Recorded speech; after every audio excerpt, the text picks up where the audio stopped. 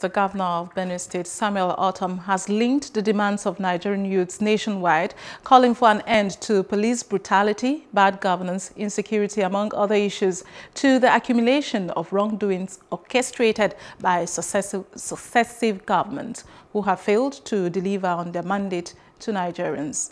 The governor, however, warned that leaders must engage more transparently with Nigerians to prevent the situation from consuming both the leaders and the led. I know that the current leaders are not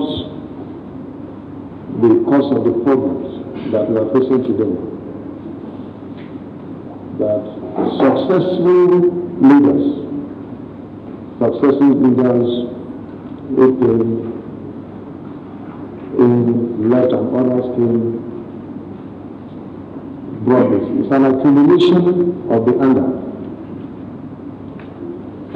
Um, the failure of us leaders over the years to do certain things that would have taken our children off the streets. So it is a responsibility that all of us,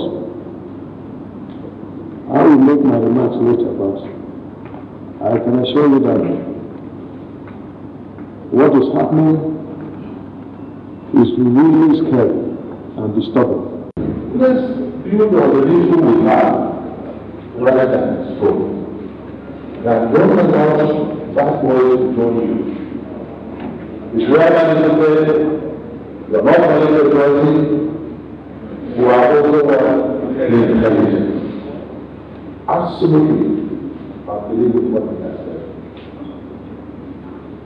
And together, working together with the federal government, we can gain what a lot for good people